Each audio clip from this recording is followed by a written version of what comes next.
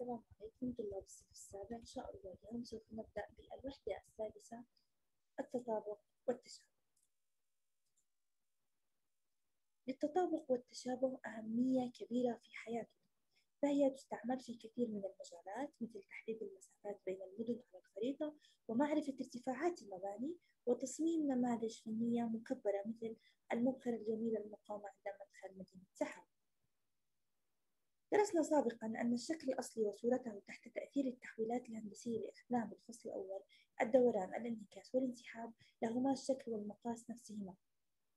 فهما متطابقان ومن ثم يمكننا التحقق من تطابق شكلين بإجراء انسحاب أو دوران أو انعكاس لأحدهما والتأكد من انطباقه على الشكل الآخر تماما. نلاحظ أن هذا الشكل أصبح له انسحاب. إلى اليمين فأنا ما تغير عندي الشكل أبدا. المثلث هذا أصبح له دوران والمثلث والشكل هذا أصبح لدي انعكاس. إذا المضلعات المتطابقة هي مضلعات أجزاؤها المتقابلة متطابقة. فالأضلاع المتقابلة تسمى أضلاع متناظرة والزوايا المتطابقة تسمى الزوايا المتناظرة. راح أرمز بالرمز هذا أنا عم بأشر عليه الآن للدلالة على أن الشكلين متطابقين. إذا متى يكون المضلعان متطابقان؟ إذا كانت الأضلاع المتناظرة متطابقة والزوايا المتناظرة متطابقة. فمثلا بالشكل هون نلاحظ أن الزاوية A تطابق الزاوية E. هيا بكتب الزاوية A تطابق الزاوية E. الزاوية B تطابق الزاوية F. C و J و D تطابق H. الآن أما الأضلاع المتطابقة فهي AD يطابق EH نلاحظ أن الشكل أصبح له انعكاس BC يطابق FJ AB يطابق FE و CD يطابق GH لازم تكتب إشارة الخط المستقيم. عند الضلع اكتب جمل التطابق لكل من أزواج المضلعات المتطابقة الآتية. هذا الشكل أصبح له انعكاس لاحظ إنه P تطابق M Q تطابق L و R تطابق N هاي هي الزوايا المتناظرة الأضلاع المتناظرة PR يطابق MN يعني أنت لو هذا تقلبه الآن راح يطابق MN PQ يطابق ML و RQ يطابق LN إذن هاي هي الأضلاع المتناظرة. الآن أتحقق من فهم الموجود صفحة 51 الزوايا المتناظرة نلاحظ أن D تناظر N. يعني تطابقها. بكتب الزاوية N تطابق الزاوية الزاوية O لاحظ إنه هذا الشكل أنا عملت له انسحاب إلى اليمين.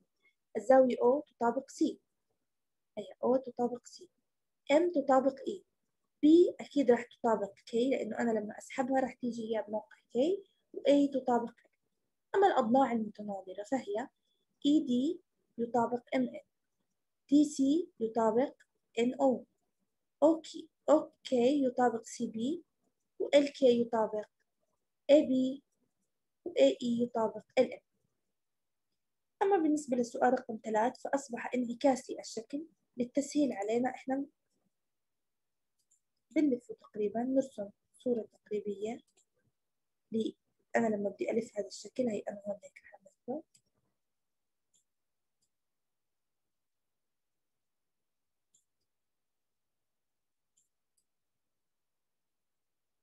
طبعا هذا أكبر رح يطلع معنا.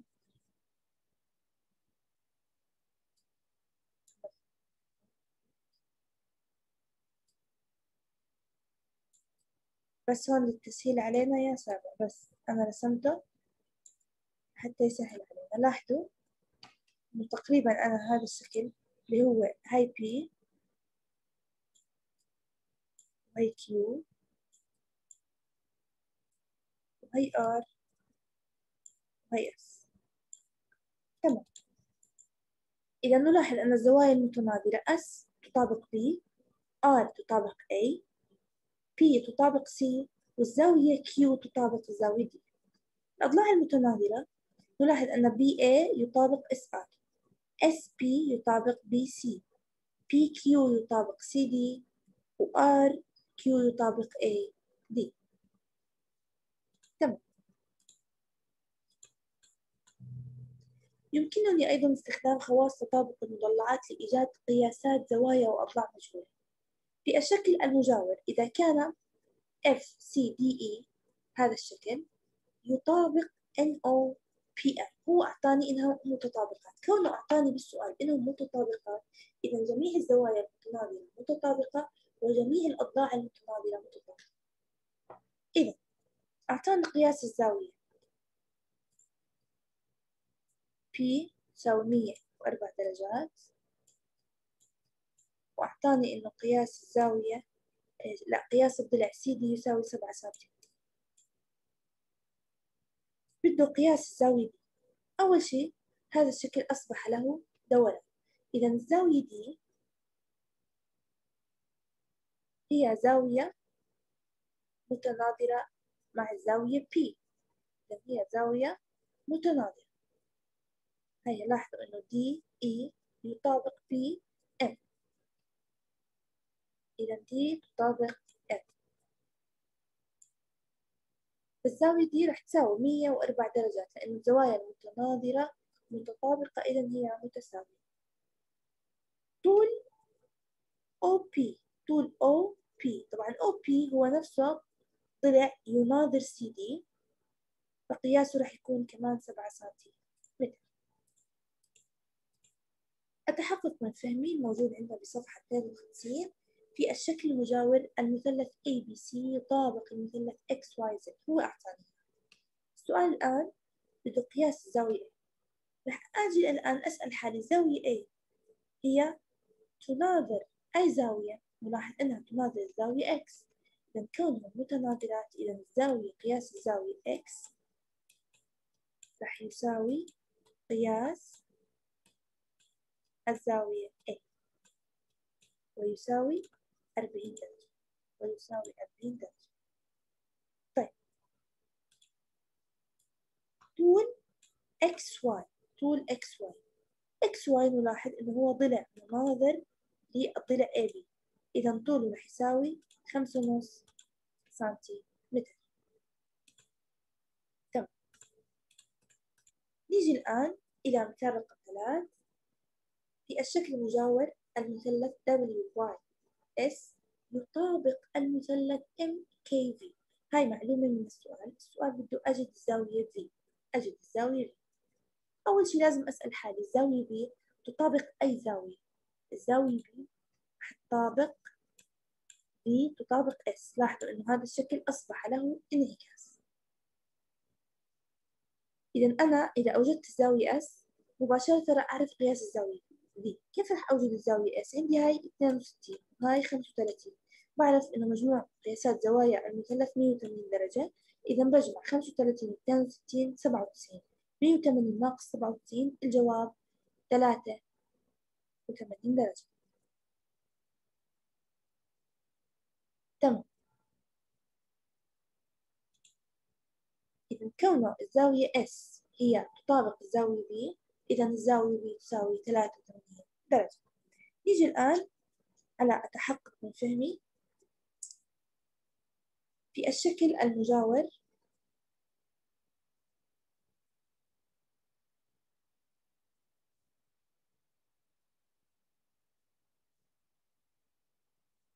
المثلث CAB CAB يطابق المثلث ZXY أجد قياس الزاوية A.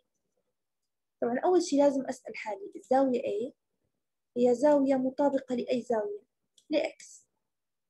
هو فقط أصبح دور آه سوري انسحاب لهذا الشكل. طيب الآن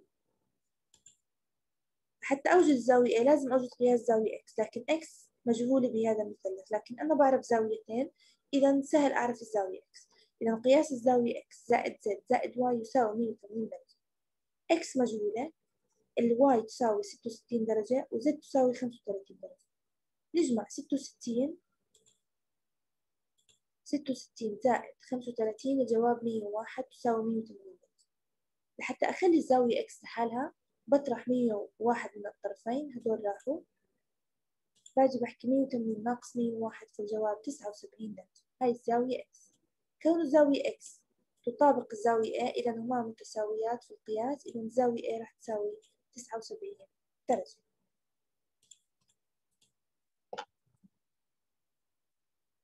يمكننا استعمال المعادلات أيضا في إيجاد قياسات زوايا وأضلاع مجهولة في المضلعات المتطابقة في الشكل المجاور المضلع ABCD يطابق المضلع PQRS أجد قيمة المتغير X.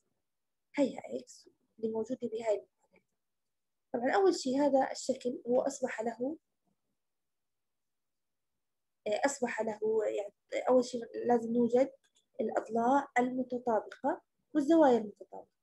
نلاحظ أن الزاوية P هي مطابقة للزاوية A. بس إحنا لو هذا أصبح له دوران. فالزاوية A لما أنا عملت لها دوران أصبحت بمكان الزاوية P. والزاوية B أصبحت في مكان الزاوية Q. تمام؟ طيب والزاوية D R. و P مع S طيب معناته الزاوية A اللي هي تساوي 2x زائد 4 لازم تساوي 100 درجة لأنهما متطابقات. إذا صارت عندي معادلة ناقص 4 ناقص 4 هدول بيروحوا. ضل عندي 2x يساوي 96 على 2 على 2 إذا x شو قيمتها 48 درجة. للتحقق احكي هل 2 ضرب 48 الجواب 96 زائد 400 إذا نفس الزاوية. أتحقق من فهمي؟ بده قيمة المتغير y نلاحظ إنه DC أصبح هي DC أصبح يطابق ضلع RS إذا لازم تساوي 12 إذا 3 y ناقص 3 تساوي 12 معادلة زائد 3 زائد 3 إذا هدول بيروحوا 12 زائد 3 15 الآن على 3 على 3 إذا y تساوي 5 y تساوي 5 هيك بيكون انتهى درسنا لهذا اليوم. يا سابع يعطيكم